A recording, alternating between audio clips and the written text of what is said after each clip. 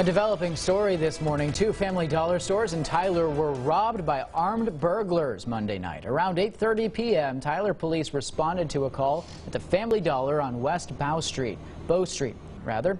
About 45 minutes later, officers also responded to the Family Dollar on East Front Street. The stores appear to have been robbed by similar suspects, and it's currently unknown how much or what was taken from each location. The cases remain under investigation, and the Tyler Police Department asks anyone with information to call as we learn more. We'll be sure to keep you updated on our website, ketk.com.